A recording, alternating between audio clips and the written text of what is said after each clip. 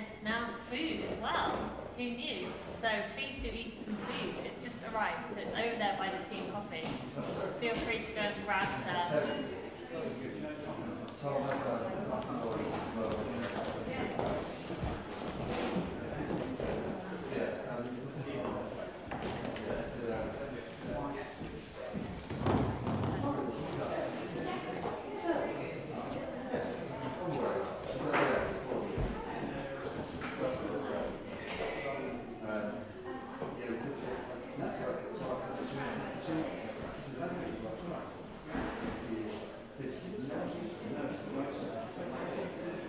Yeah, yeah.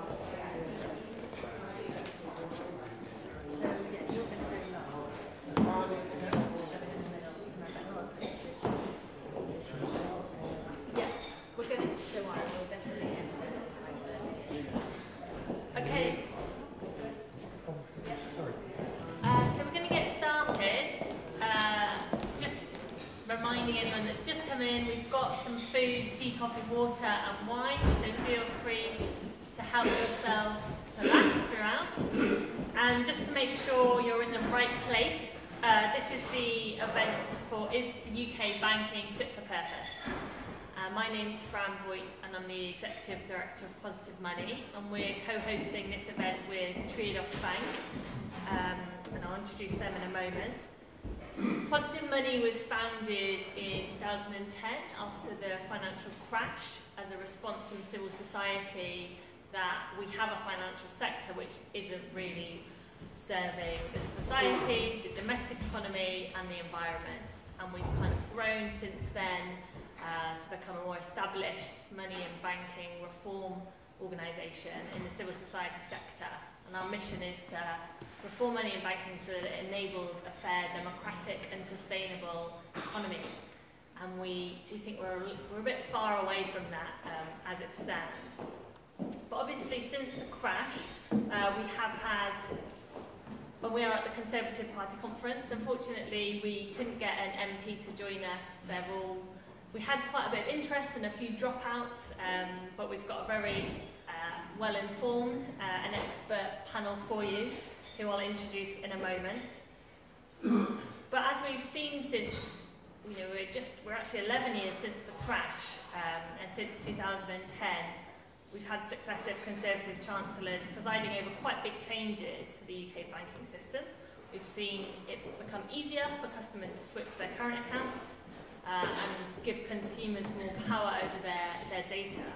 But 10 years after, we still see in the UK uh, a sector that is heavily dominated by a handful of very large, very powerful shareholder banks. And they've actually overseen quite a ruthless program of branch closures which have left many communities and, and some of the communities we work with without basic access to banking services. You, we see small businesses finding it hard to get access to the lending they need. Um, so we think we're quite far away from a banking system that really enables a fair, democratic and sustainable economy. So how do we get there? What are the kind of new models for banking that could disrupt the system, challenge some of the big players? Um, we're really pleased to be hosting this, this session with, with Triodos Bank and we've hosted another event at the Labour Party conference last week with them.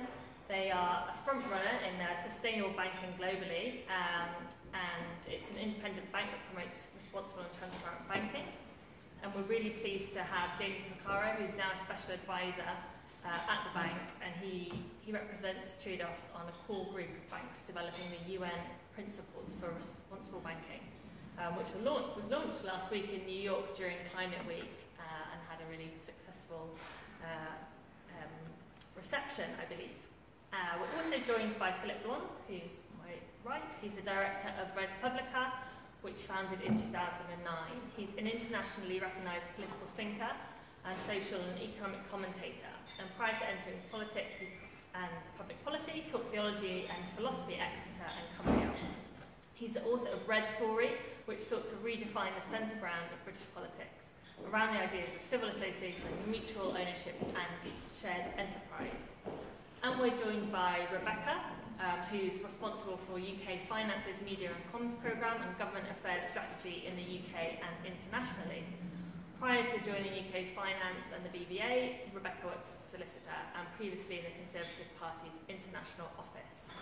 And we're obviously aware we've probably got a lot more expertise in the audience, so as Positive Money likes to do things as participatory as possible, we'll be asking you to feed in once we've heard from the panel. Um, and we might, I might even be interjecting some questions from Positive Money's supporter base, because we are a people-powered organisation. Um, but first of all, we're going to hear from our panellists, and Rebecca, if you're happy to kick us off. Yeah, absolutely, thank you. Um, so ahead of uh, this afternoon, I think I was asked the question to talk on uh, what is the social value of, of the banking sector in the UK? Um, and for me, that's a topic that really has to be kind of clearly talked about and defined because we are terrible as an industry about talking about the social value of what we do and actually that there is value in what we do. And I think too often as a sector, we take it for granted that people think having a large banking sector uh, is economically be beneficial, is good for society, and actually there are many, if not most, in the UK that would quite happily see the UK banking sector smaller or relocated or undertaking different kind of activity. So why do we, we have a right to exist? Why should we be here in the UK? And, and is what we're doing actually good for um, the UK? And so what I wanted to talk about today was uh, two areas really. One was the purpose and value of the industry um, in terms of what we do. And then secondly, what more do we need to continue growing that value and being beneficial? And in that second part, this isn't going to be the industry kind of going, we need less regulation, we need to pay lower taxes. Actually, we think the best thing for the UK is if we have a well and strong, transparent and highly regulated industry that people trust. And in, the, in that trust, that is how we grow what we do here. But what about the banking sector? I mean, is it, is it actually a force for good? Can it ever be a force for good? Firstly, I would say yes, because the banking sector is no longer driven by shareholder value. Um, Last month, the Business Roundtable, an organisation of multinational CEOs, came together to say for the first time, actually, shareholder value shouldn't be our primary aim. Instead, companies should focus on the value they deliver for all stakeholders. So how does the finance and banking sector really demonstrate that it acts beyond its own narrow self-interest and that of capital providers? Why should the UK be happy about continuing to have this world-leading sector on our shores?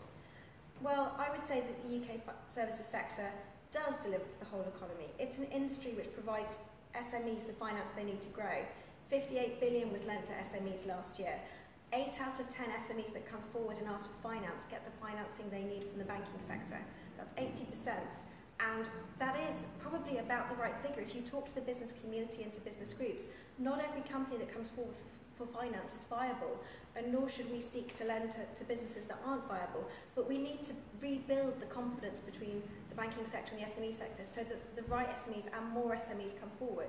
We have a crisis of confidence in that part of the market where some SMEs don't feel they should ever ask for finance and we need to focus on rebuilding that trust because actually where we do build those relationships between banks and their um, SME customers, actually we can build a very strong and valuable flow of not just finance but mentoring, guidance and support. But we're also an industry that exists to help families and homeowners uh, 1.2 trillion in mortgage lending to homeowners last year. The numbers get too big that they almost become meaningless. But if you think about the number of people that means to get a home in terms of ownership and can drive forward that level of wealth in the UK economy, it's absolutely critical that the sector continues to work in that space and continues to do so responsibly. But it's also areas where we don't necessarily think about banking. So this sector last year stopped every two in three pounds of attempted fraud. So we all know that fraud is now the UK's single biggest crime and one of its fastest growing crimes. And actually as an industry, we have a real responsibility and purpose in ensuring that we help protect customers from that um, ec economic crime. And if we're stopping two thirds of attempted fraud, then that has to be a key part of what drives us forward and what we do. Um, it's effectively 1.7 billion in terms of economic activity we're preventing going to criminals to invest in drugs or other sort of activities such as human trafficking. Now, usually the sector sits here and talks about how much tax we pay and how many people we employ, and those are important core parts of our economic value, but it shouldn't be what drives our purpose, and it shouldn't be what drives how we think we should be taking our business activity forward. And often some of the things that we don't talk about is the work going alongside that kind of core economic interest. Um, so thinking about some of the industry initiatives we've been working on and supporting with our member firms over recent years, um, well, I know that we're all waiting for the domestic abuse bill to go forward and through Parliament and hopefully uh, with the uh, prorogation ended, we'll now see that activity being taken forward. One of the things we've been working on is the Financial Abuse Code of Conduct, so that firms can improve how they identify those who are at risk of financial abuse and economic control and help them seek access to the right support and to regain control of their money. And we've been working with consumer groups and representatives right across the industry to implement that work and put in place some really important steps to help people in those circumstances. We've also introduced the authorised push payment uh, voluntary code, uh, which is a terribly named initiative, but effectively what it means is if someone is tricked out of their money and they end up transferring it to you a scammer rather than a genuine person, we will reimburse that money to the customer, regardless of whether we can track it and trace it through the system and it sets out the rules by which we will make that reimbursement. That isn't a mandated change required by the regulator or by government. Actually, in many ways, it would be much easier for us to implement if it had been forced on the industry. That was a voluntary initiative that the industry worked with consumer groups and with which and others to take forward and implement.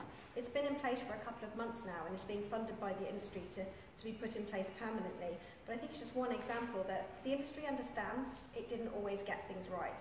And I'm never going to sit or stand on, on a platform and say, nothing to see here, the banking sector has always conducted itself in a way that people expect. But I think there is now an acceptance that the values and the cultures behind these institutions does need to change and does need to acknowledge people's concerns about the sector. Um, and these are some of the issues that we've seen being brought forward. Um, we also talked about access at the start here, whether that's access to branches or cash or ATM networks.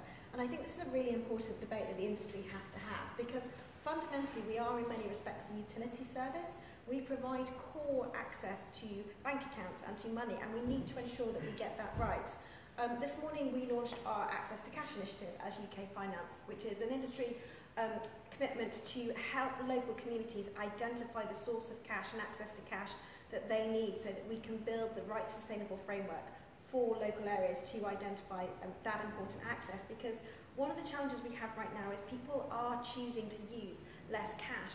I think the latest data says that every month a typical customer uses their uh, debit card 28 times but cash only 11 times. And if that cash usage is declining, it's hard to ensure that the infrastructure stays sustainable. Now, rather than just allow that infrastructure to fall away, we as an industry need to work together to find a way to build the right sustainable platform, which means people can access cash because it's critical that for some people, that is the, the only way they choose to manage their money and they need to be able to take that forward. And finally, I just wanted to comment on climate and the UN Business Principles, um, which were launched last weekend. We at UK Finance signed up last week. Um, it's, uh, we're the, the first industry body in the UK to make that commitment, and we'll be encouraging all of the banks and firms that participate in our organisation to sign up to those because I think we do have a real responsibility and ability to drive forward um, an important change when it comes to climate and how we manage that going forward. So I couldn't agree more with the importance of backing that initiative. So for us, for me, that is why I think the sector is valuable. I don't think we're very good at telling the story. I think too often we just focus on the city and allow people to think about the markets and what's going on. And too often we're portrayed as wanting to kind of seek lower regulation. But from our perspective, we would love to see a government agenda that actually enables the smaller banks and the new banks that have been created to build their business models with a more proportionate approach so that they can grow and actually compete against some of the more traditional incumbent firms that exist in the market. And with that kind of pause for thought, I will stop there. Thanks so much. Thank you, Rebecca. Covered a lot of ground there, and so I'm going to pass over to James. Um, hi everyone, um, I'm representing Triodos Bank and um, in terms of the whole thing, in terms of being fit for purpose, Triodos Bank, for those who don't know, was a bank which started with, with a very different purpose. So you hear now of banks who set up as startups to become challenger banks, to kind of challenge for market share. We set up as a bank, as a challenger bank, to challenge the paradigm of banking and what it really fundamentally was. So it came out of a speaking group discussion of people who were in the financial sector and going, what is the purpose? What is it that we're meant to be doing? So as an, an institution which effectively is giving credit into the economy. What is it we're wanting to do here? What is it that we want to bring into that economy and what is fundamentally healthy? It started with that question. We became a bank, started in the Netherlands, came here uh, in 1995. I joined in 1998, so I've been uh, just nearly 22 years with the bank, specifically looking at where are the ideas that could be in the economy which are driving positive impact social, environmental and cultural change, things that people really value. We were trying to figure out what is it that we need to do as a bank to be able to make that happen. So we got involved in lots of uh, initiatives in renewable energy and organic farming, social housing, social care. All of our um, projects that we lend money to are on our website. That proposition isn't just because we want to kind of uh, uh, put a regulatory burden on ourselves, it's because it's important for everybody to be able to be conscious and aware of what they're doing so they become more free to act. And that's something which has kind of underlined our principles. When I started 20 years ago, I was the only person you could call in the United Kingdom if you wanted a wind farm loan and you weren't a utility. Uh, because it was seen as, it was definitely ignored, it was in the, it was, it was in the shadows somewhere, it was seen as alternative uh, energy, uh, everything was alternative that we did, um, as opposed to ethical or then sustainable and now kind of just the market. Um, and that's been the, the story mirrored in terms of how Triodos Bank has been regarded. I think first we were sidelined after the financial crisis and the fact that we've had not just kind of good profile and good customer relations, but um, consistent returns, not a level that, that, that others had before the, the, the, the crash, um, but very consistent dividend returns from doing real economy business, um, we were taken notice of, but then still people would say, yeah, but I mean, this isn't really a proper bank or, or, or whatever. And then actually now, the, the markets which we've been in, in terms of uh, environmental and social business, really kind of coming to the, to the forefront of what, what people recognise as what's needed in the future from the climate crisis, but from also multiple planetary crises on environmental a lot of uh, social systems under huge stress and, and, and at crisis points, needing to channel money now into those sectors seen as the only business which banking can be doing, which is healthy. We've gone full sort of cycle into a time when there are, there have been, and there were many of the uh, major UK banks, not all of them yet, but, but many who've signed on to the UN principles for responsible banking, which will drive them to work with stakeholders to say, where do we actually have our biggest impacts? What could we be doing there? Um, and what targets should we set to be able to be accountable for those targets? Others have got a long way to go, but it's a first meaningful commitment. So it feels like we've gone through that cycle, as Gandhi said, um, you know, first they ignore you, then they ridicule you, then they fight you, then you win. The, uh, the postscript probably is, then they probably claim it was all their idea in the first place. We're going through that right now. And, and that's, that's from the market side. But on banking reform, we've had a, we've had a whole wave of regulations post-crash where banking regulators have been trying to get to grips with how do you keep banking safe. A lot of regulations have focused on the specific boundaries and the perimeter of an institution. You've got your savings in an institution. Where do those savings go?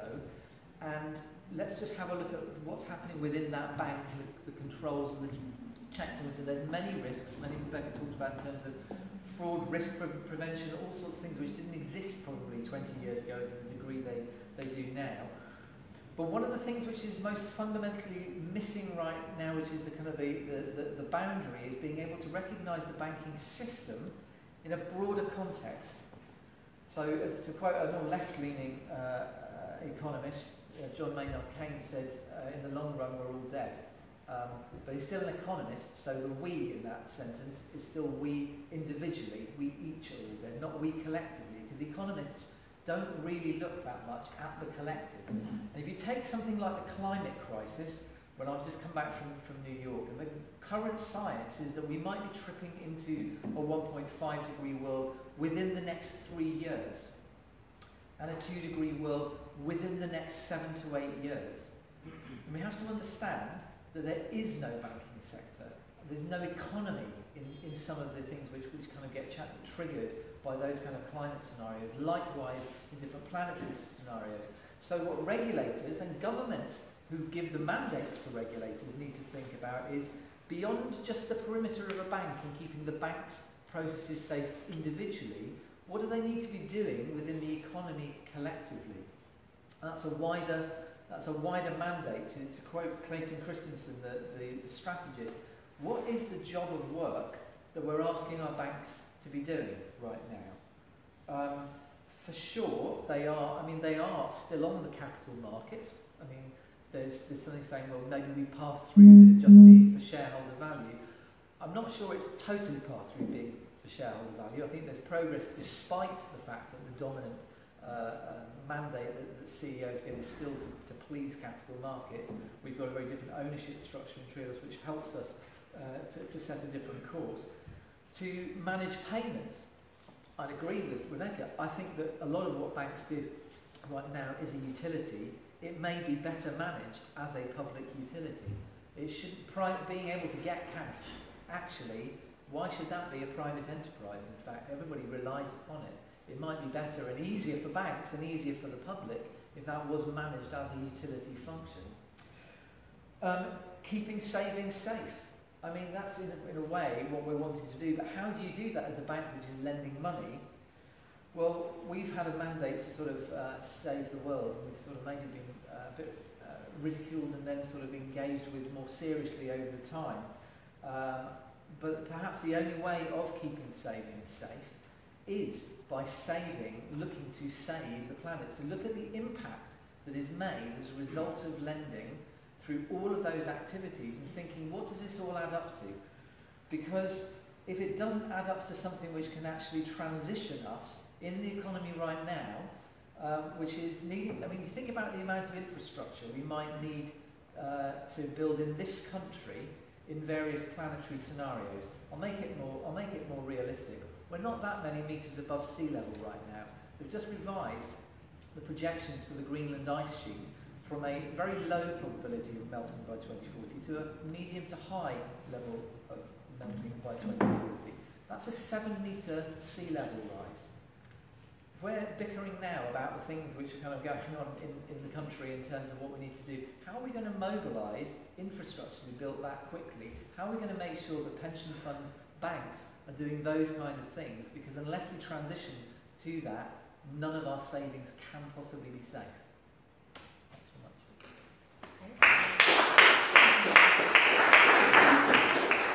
Thanks, James, putting a lot in perspective there. Um, yeah, there's a there's a very big conversation happening on um, financial stability risk. So climate change is a financial stability risk, and obviously we've been feeding into that. But I guess you have to ask yourself the question: if the city of London or, or downtown in, in New York is underwater, probably your economy at large is going to be quite difficult to get going again. Um, so we've been trying to push the Bank of England on that a little bit.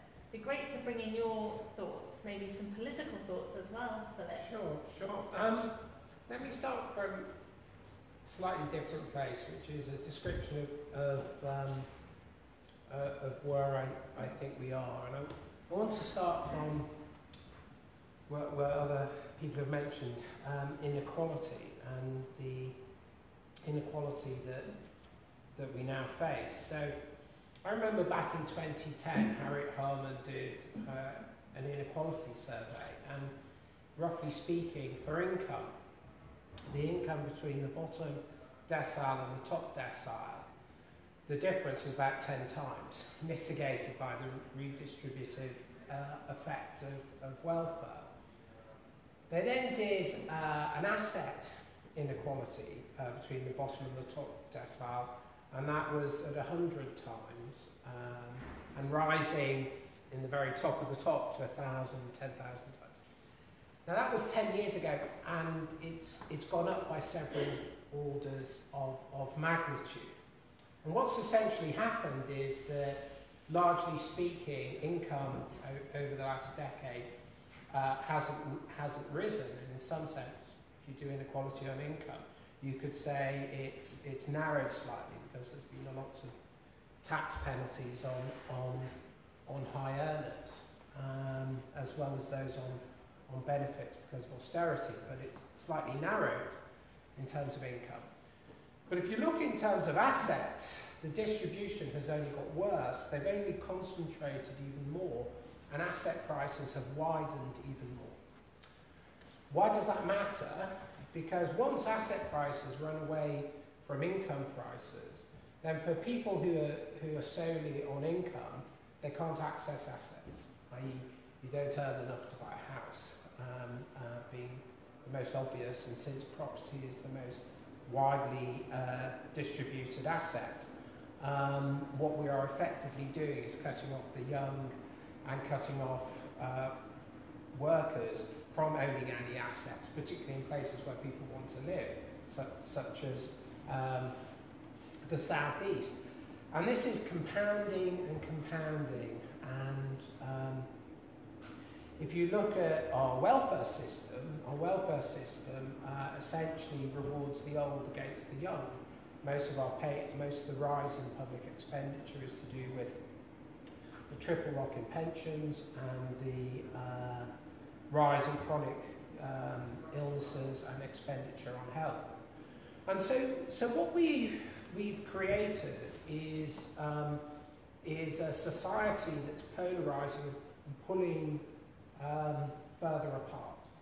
So let's just park that. That's, that's point one. That's the fundamental restructuring of capitalism that's profoundly dangerous. I, I, I sort of argued this would happen about 10 years ago, and, and I said we're seeing a return to a Middle Ages form of northern serfdom, except the serfs had it better in, in, in some ways because um, everyone thinks the Middle Ages was a terrible time, but actually in many ways um, it wasn't. If you were a serf, you could generate a surplus and sell the surplus. And actually a lot of peasants uh, gradually obtained land and, and property because they were able to generate a surplus.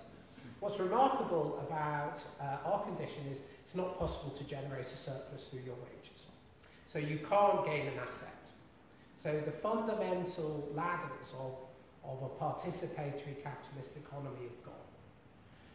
Now, um, so as I said, put that on one side. Then let's go to UK, let's go to banking. What, what's the fundamental argument that you do in Economics 101 if you start a, a banking? That is efficient allocation of capital. If you look at the capital that's generated, and as you know, banks ha have the sovereign power, they, they can create money. And if you look at it globally, um, what's happened with that power is the enormous amount of credit that banks have generated, um, eye-watering amounts of credit, has largely gone into real estate and largely gone into property. I remember some of the surveys I was doing a few years ago, something like 90% of the money that flowed into Ukraine went into property. None of, and property is not an efficient allocation of capital. It is not a productive gain for capital. This is essentially an exclusive asset that bids people uh, out of that asset. Now, why has um, why has uh, why did money flow into property um, rather than other things? Largely because property offered greater returns than other things. Because a rentier economy always offers a, uh, greater returns for, from those who own the asset that's rented out. But what we've got, and people have written books on this, is we've got a growth problem that in the developed world can only be funded by debt. Uh, and we've got a low wage problem whereby the people who are on relatively low wages can't afford anything, so you need debt in order to afford anything. So what's largely happened is that is that economies build up debt in order to finance um, the needs of their populations when growth and the benefits of growth are distributed unequally.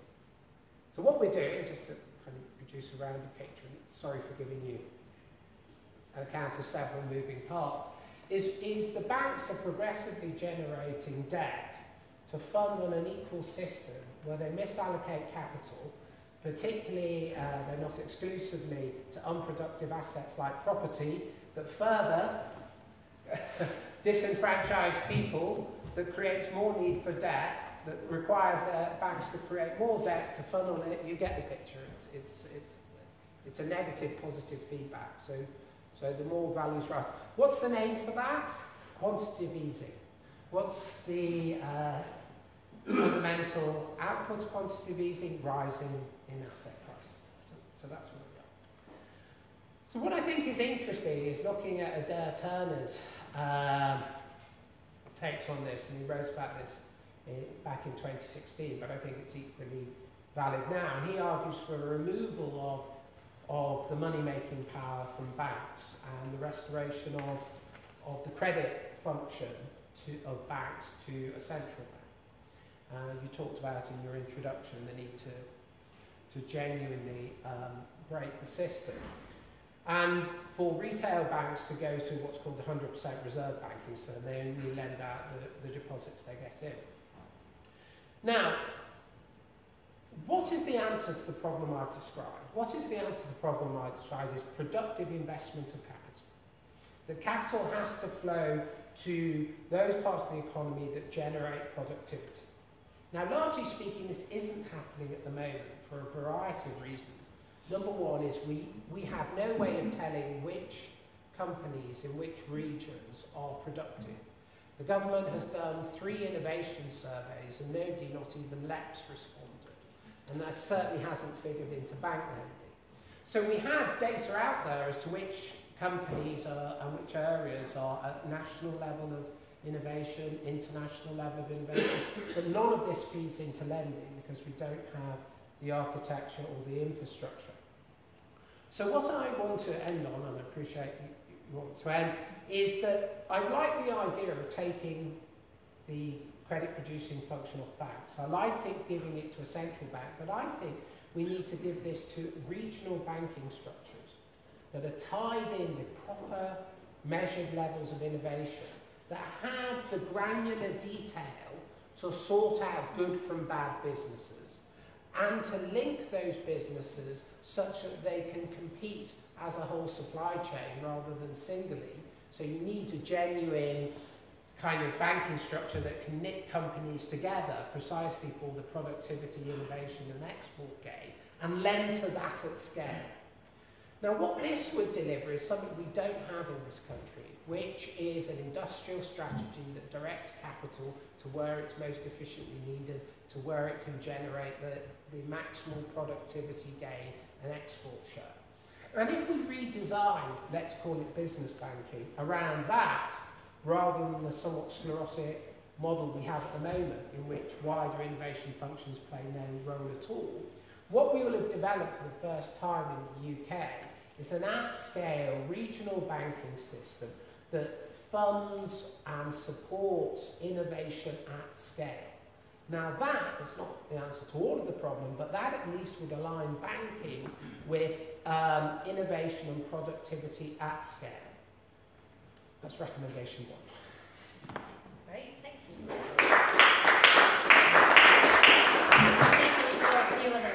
Yeah, quite. Um, okay, well we'll start with that one. We've covered a lot of ground uh, from banking as a public utility, access to cash, the need for banks to be involved with stopping crime, climate change, inequality, increasing asset prices, um, and even thinking about the, the credit function. I really want to bring in the audience because I've appreciated you've all come and walked up a lot of stairs to get here, um, and I'm sure you've got some insights. So I'm going to ask you just to turn to somebody ideally you don't know and have a conversation about what you've heard. If you want to answer a specific question, it's what should the government's priorities be for the UK banking sector? I'm going to give you two to three minutes and then we're going to take comments and questions from the floor. So yeah, thank you. And you can get a drink at the same time. That's great. Yeah. Couple lots.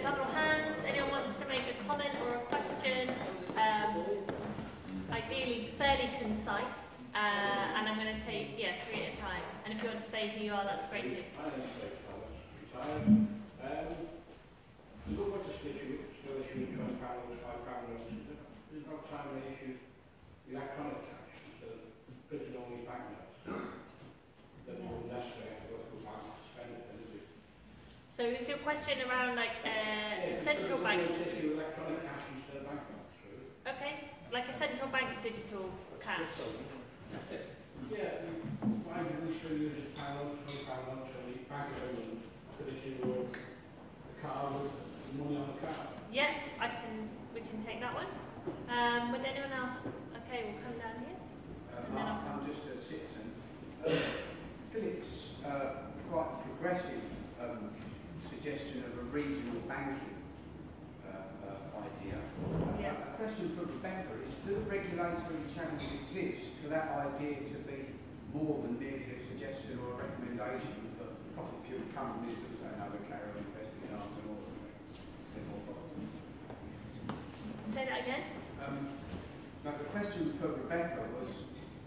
Regulatory channels exist such that uh, Philip's recommendation, um, proposal for a regional banking models um, uh, could be forwarded such that the existing profit fueled banks don't simply say, no, we're going to get more, continue getting more profits from arms and oil.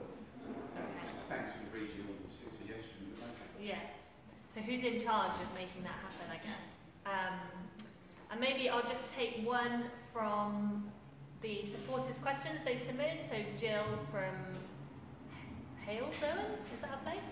Um, says, why are so many banks and ATMs closing? We haven't really under, unpicked why that is happening. So appreciate there was a couple for you, Rebecca. Are you okay to pick up on those first? Yeah, shall we start on why are so many banks and ATMs and closing and, and the role of cash? And um, no, I think you know this is um, this is a conversation we can be having about banking, about the high street, um, about what we expect to see in the retail environment going forwards, which is people are choosing to manage their money in many different ways, and that choice is everything from uh, using your debit or credit card, using contactless, making payments online, um, choosing to make different kinds of online payments, and as a result, we are seeing far fewer people using branches and traditional branches and ATM networks. And as a result, it is no longer a, a cost effective to keep those branches open, to keep them fully staffed.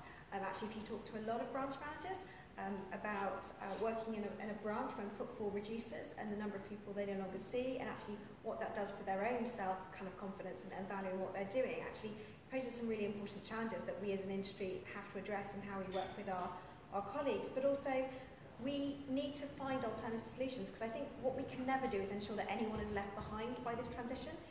This needs to be what people choose to do. So if you choose to continue using cash, we need to ensure that you can still have ways to manage that cash. But that's a complicated process with kind of many different elements to it. So it's everything from where do you go to get it? Is it an ATM? Is it cash back when you go to your local convenience store? Or is it the post office? We now have over 12,000 post office branches where you can go and access cash um, you can check your bank balance, you can pay in money. That's the, you know, that adds an entire extra kind of 50% to the size of the branch network all over again. But also we need to think about how we ensure this is maintained going forward because the flow of cash around the UK through, you know, literally the vans driving it around is currently operating at about 50% capacity. It's not viable to keep that going forward unless we can find uh, a solution to, to make that work in the long term. So one of the things the industry is doing with the support of the Bank of England and with Treasury is to, to find a way to make a sustainable solution about how we keep the flow of cash effective and build a new infrastructure for cash so that people won't be left without that level of access. And I think it's those kind of initiatives, it's thinking a bit differently about how we use branches, whether they're shared branches or whether you can use convenience stores or different central hubs in your community in different ways that we have to be willing to explore and invest in with the, with the sector. Great, and maybe picking up on the, this gentleman's question around, you know, if, I'm going to kind of nuance what you said slightly, but if the, the, the big banks were told that they had to lend into like certain regional infrastructure projects, I mean, we have, we used to have kind of credit guidance in the 70s where there was a kind of a mutual understanding between the Bank of England and the banks that they had to, they couldn't just lend to kind of pre-existing assets or financial markets, they had to also lend to, to, uh, more productive sectors. Like how do they respond if they were told they had to lend a certain amount? Unlike potentially some parts of our government, you know, if it is the, the law and the requirement of this country, that is something we will abide by. Um, but I think for the banking sector, it's really important to remember when we talk about lending to SMEs and commercial finance, um, you know, this, um, it's in our interest as an industry to lend to productive businesses. It's in our interest to lend to viable SMEs that will scale up and grow because SME lending is fundamentally a, a commercial activity and therefore it doesn't make sense for us not to be seeking out that productive growth. And I think the information that is available to the industry is huge. Um, you know, we have postcode level lending data to every, every SME business lending decision down to your local street, um, which we can analyse and look at, as well as the information that comes in through um, the regional networks that, are, that many institutions and banks have. And I think you know, there is a strong desire in the industry to ensure that we do uh, grow viable businesses, that we do work with organisations like the Scale Up Institute to ensure that there is effective lending right across the UK. And in fact, if you map um, SME lending against productive activity, so whether that's uh, number of company registrations or level of corporate activity, actually it maps almost identically. There isn't this sense that we only lend to the southeast and actually if you go up to the northwest there's nothing there. Actually, um, the level of lending is very commensurate with the level of economic activity. But we do need to keep working with businesses to encourage them to come forward because we haven't yet um, fully addressed the, the lack of trust between SMEs and the sector. And I think there's a real problem there. Can I answer that? Can I respond to that? So if the level of economic activity is the primary motivator, in fact your answer is no, the regional banking initiatives that Philip recommended aren't going to get the, the funding channels. No, I mean, the, the interesting thing is that's a rear view mirror kind of requirement, and, and um, I think the gap that you're, you know, you're, you're talking about is is postcode lending data isn't necessarily the right way to judge at scale SME lending, and, and as we were speaking earlier, um, uh, depending which report you read, uh, it's somewhere between, you know, 65 to 75 percent of bank lending goes to unproductive uh, asset activity, and, and mainly property, but not exclusively. Uh, there, there are other forms of assets. So what, what we have is, at most, only a third of all bank lending going into productive activity. But that isn't really even my point. And th- there's a really interesting question. what the UK industrial strategy needs to do is knit the parts into a whole that you can lend to, such that you fund the gaps within that whole. So take, for example, um, the UK car industry, let's pretend Brexit wasn't happening. Um, there wasn't a, a engine block hybrid electrical car maker in the whole country. The, the people that made hybrid engine blocks were in Poland, they saw no reason to move here. Now, unless you knit together or have a whole sectoral approach, you're never going to create the conditions to fund, to create a fully circular economy within the, within the UK. And even more importantly, if we keep doing everything on the individual business level, we won't convert um, uh, whole areas to being export-led. So all the evidence, I do lots of devolution, I do lots of whole area turnaround. The single most successful indicator is exports. That's what really shapes. And a lot of the companies that are below export level are below export level because they're not linked and they don't even know about the other companies that, are export-led, that they're not linked to, that they could collaborate with. And the missing element, and even our LEPs don't do this, because our LEPs are, are, are a very mixed bag, is we need to knit together the whole supply chain domestically in a place in order to do whole supply chain competition for an area. Now, part of that is reflected in the new industrial strategy with sector deals.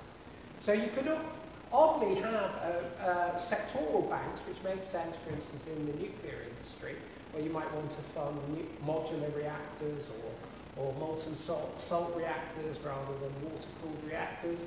Where we've got potentially, for instance, an enormous nuclear industry moving from Wales to um, to uh, the northwest, coupled with coupled with area or place-based banks. But unless somebody does the knitting together, we won't fill the gap that you that you outline. And postcode data, quite frankly, that's the best proxy we've got for SME lending. You know, no wonder we're, we're in a, a monopolised economy because, because that is not sufficient for purpose. And we lacked at scale both sectoral and place-based data onto who's ahead. And often the companies that are trading ahead don't talk to anyone else around them. This is why even in post-virtual clusters, clustering still works. Clustering still outperforms as a place-based approach to economic development than anything else. Why? Because you get to look alongside and work with your competitors. And we have no banking or no infrastructure or no economic institution in Britain that knits that together. And we need to develop that and make that the lender. That's my view. James, would you like to comment on any of the questions? Let's pick up. Well, maybe, I mean, I'll pick up the thing. There's a questions on, on cash. Yeah. Digital cash. I mean, cash, it's all virtual. I mean, there's nothing special about the coin in your pocket uh, that differentiates it from most money in circulation, 97 or so percent, which is in fact electronic money right now. Um, I've just come back from the Netherlands. I think that I, in the three and a half years I was living there, I took cash out maybe three or four times in the whole time that I was there because you just don't need it at all. In fact, coming back here, it does feel like ste- stepping back a decade. My mum still uses checks uh, and goes to the bank and uh, she says, you know, well, she's safer. And I can't argue with her for it. And she doesn't mind paying the more money rather than getting the discounts on direct debit um, because that's the, what, what she's been used to. And that brings us to another question around how are things paid for um, and we've got suddenly this kind of duality of expecting things to be free banking um, and wanting banks to be profitable, especially the ones which are kind of owned by the shareholder executive now. Um, and yet we don't want uh, we don't want any sort of other sort of funny business on the side. So it does tend to be it does tend to be kind of an economic thing, which is the barrier for regional banks. There's pro- I mean there are regional banks and local banks which are starting right now. The difficulty is how are they going to compete and what's the value that we can recognise for those happening? What support do they need to be able to play a meaningful role?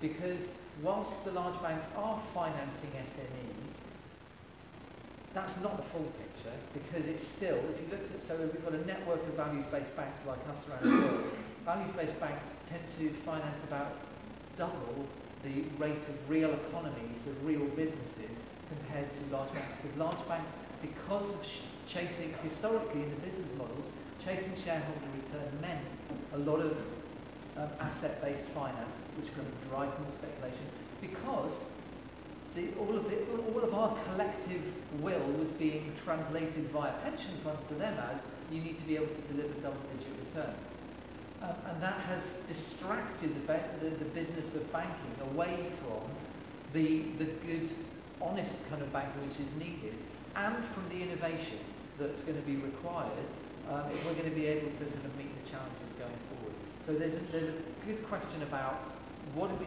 what, how do we value these things to be able to restack the economics, not just what are the regulatory permissions. Great, thank you. Um, I'll just take off my chair hat for a moment and say Positive Money is also doing some work on central bank digital currency in terms of digital version of cash in order to move the payment system to more of a utility. I won't say too much about it, but just to kind of follow on with it.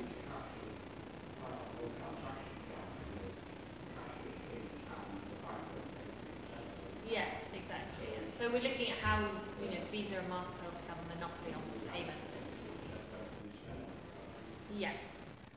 Great. So let's take um, another round. So you had your hand up before, and then we'll go to the back, and then we'll see if there's anyone else. Yeah, um, my name is John Ellington. Uh, I I'm a basic state pensioner, and the state pension is the worst in Europe, and certainly the worst in Western Europe. And uh, one of the things um, that's important is the availability of cash. I, I deal exclusively um, in cash. I have to go and pick up the um, money from the deposit account in um, the post office, which um, the DWP told me earlier this week that um, the contract with them is coming to an end, so I've got to find a bank account or credit union I won't do either because I don't trust banks. And I've had a number of issues with banks over the last 10 years. And um, so um, I'm, I'm in a bit of uh, difficulty um, there but I'm being bullied by, basically and by the Department of Work and Pensions. Um, and I think that no one should be made to, you know, um, pull the money out of um, the post office. Um, you can still have a bank, because the post office um, has bank accounts now with the major banks, you can have the money, you know, and paid, your bank account pays uh, through the post office.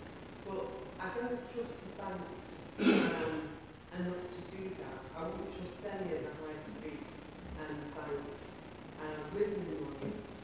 And I, I find that with cash, uh, dealing in cash, you can also, um, you know what you what you've got to spend, and you know once that's gone, it's gone. Whereas on online or you know um, digital, um, things can be false, can give a false impression. And also, I noticed that um, is it Philip brought up the um, the triple lock on pensions. That is necessary um, to uh, to bring um, the state pension um, up to you know a, sus- uh, a level that um, people can just about live on. Um, because I think it's the retail price index, something else and something else.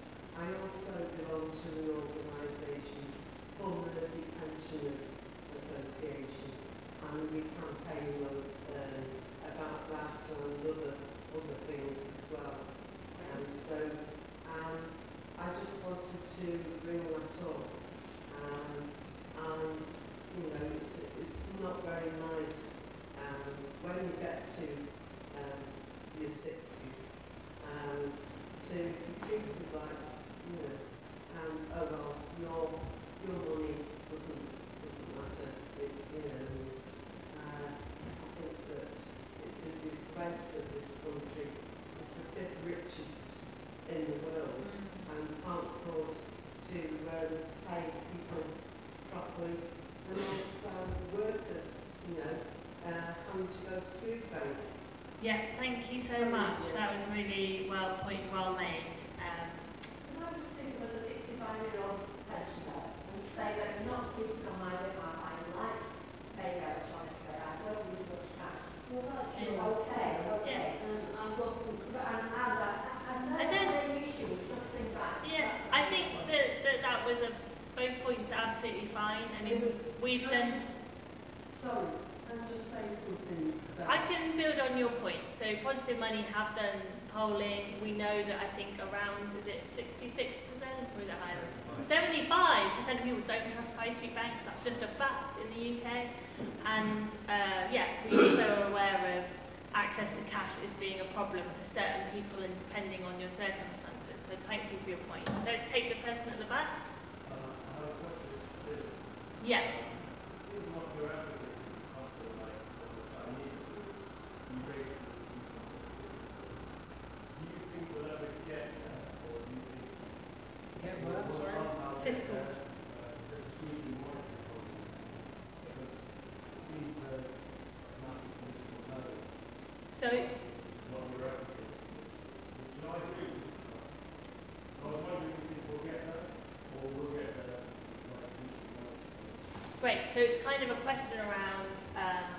the role of fiscal versus monetary policy in an industrial strategy, again, essentially, which is what you were talking about. But can I just add one more question and then we'll come to the to the audience. Um, so the last question I'll take is from the Costa Money supporters, Jock from Dundee. Uh, so we don't have a Conservative Party representative, but maybe you could comment where whether we think that the, the, the their policies have failed in terms of um, regulating the increasing amount of banking monopolies we have, uh, well, one banking monopoly, um, and what would the potential benefits be of breaking those up.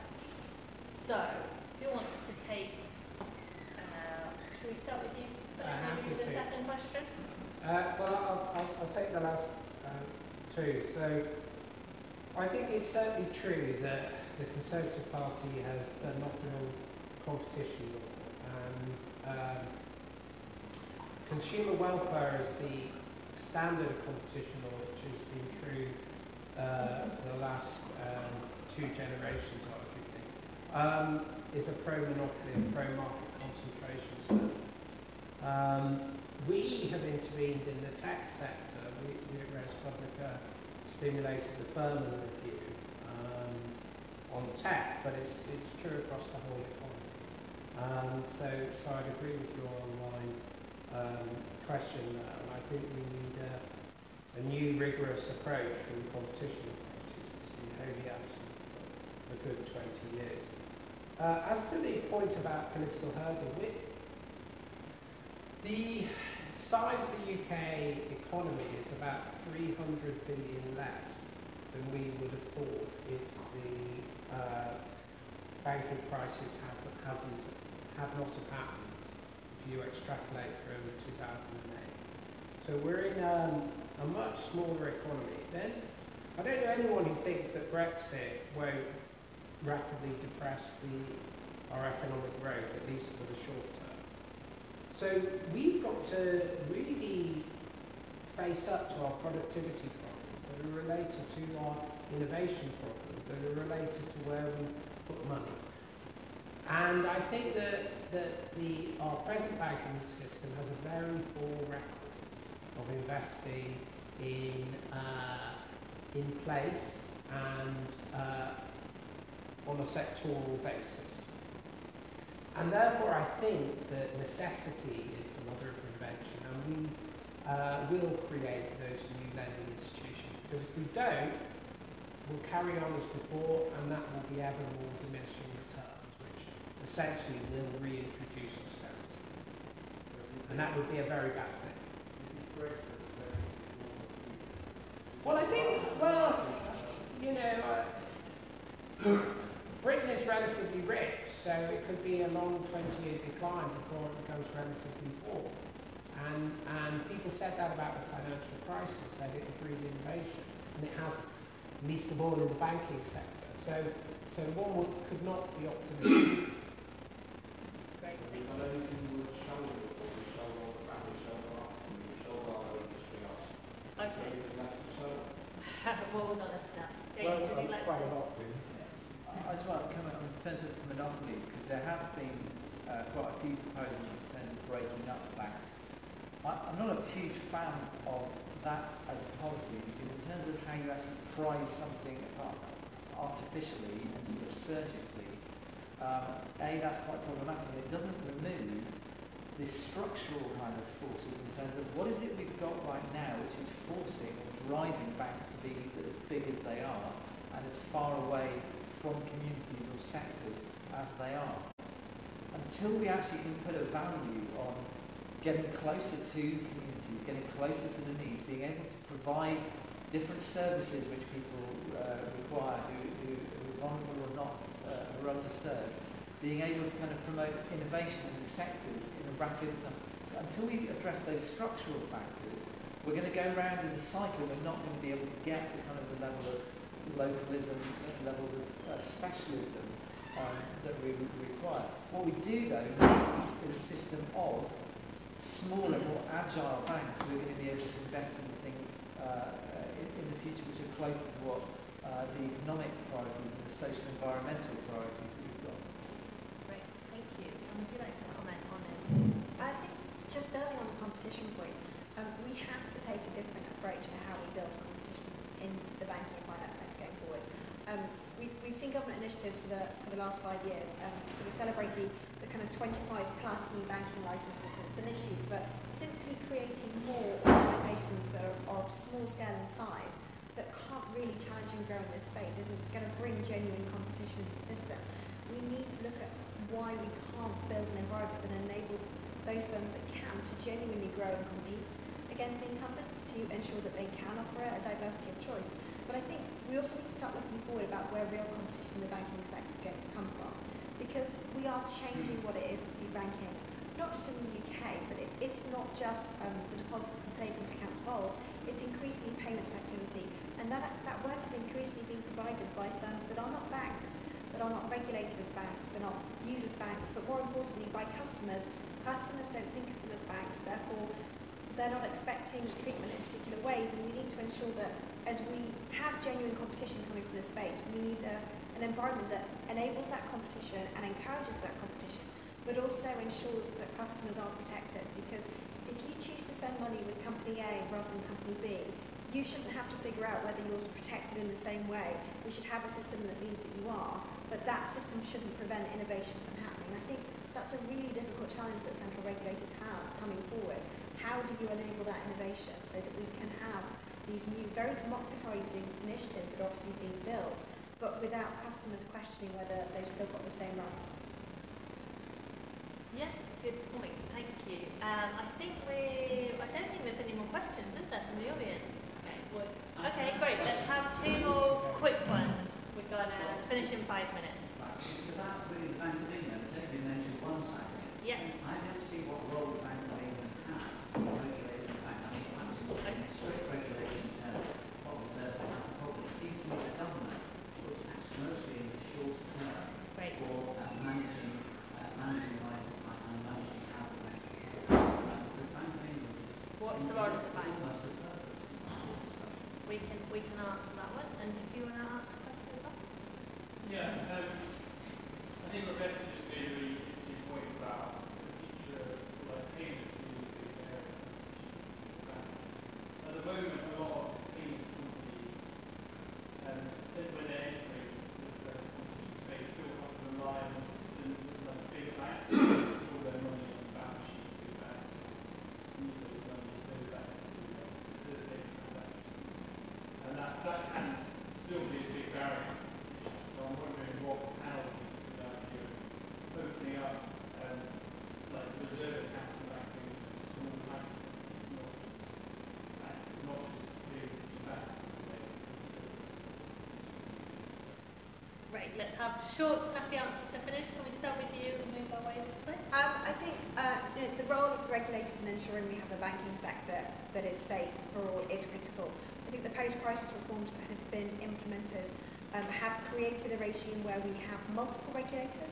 So the Prudential Regulatory Authority, which is part of the Bank of England, Financial Conduct Authority, Payment Services Regulator, the Information Commissioner, um, are all, um, in addition to the Competent Markets Authority, kind of core elements in which are regulating rightly the activity and conduct of our banking institutions.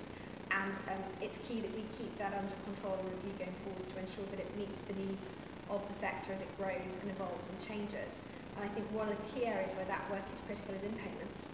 Uh, we need to ensure that as payments evolve at pace, it, um, we get the regulation right, that the regulations bring about the right protections and that customers understand what those protections are.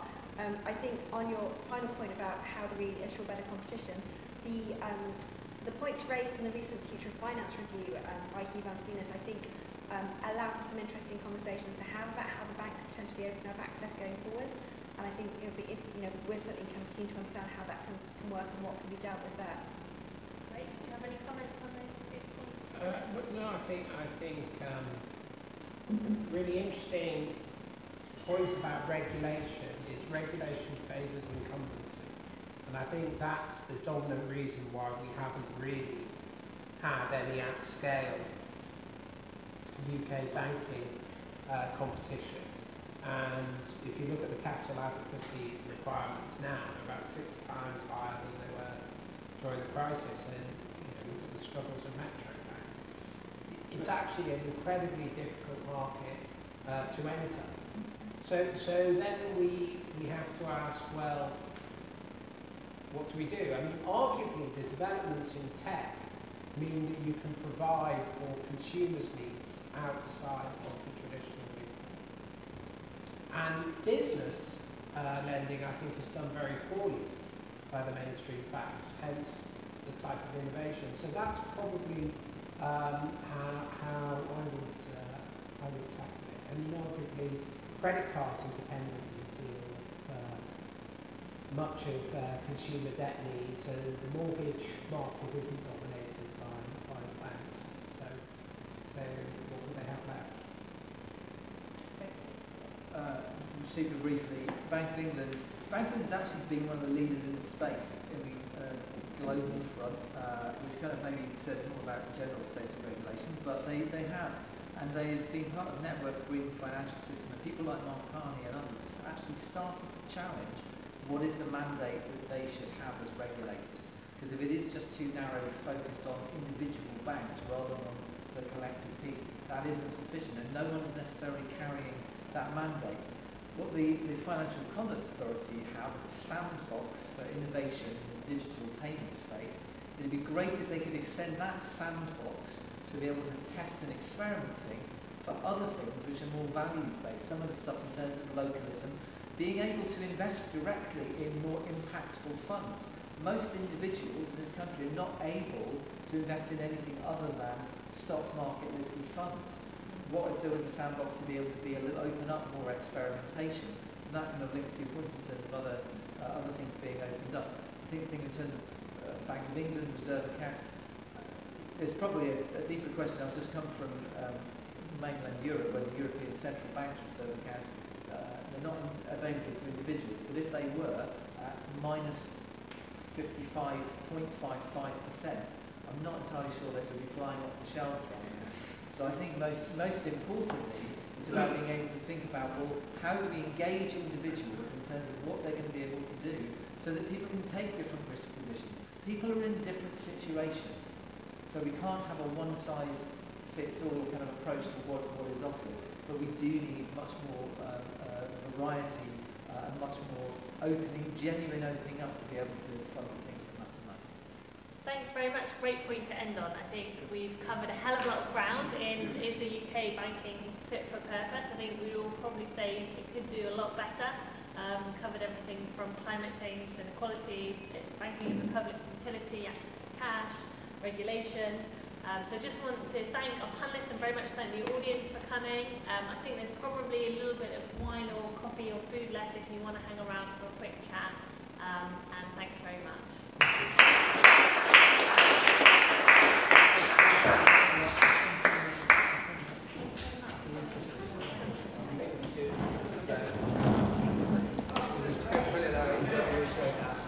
Really impressed. Well done, you did a magnificent job.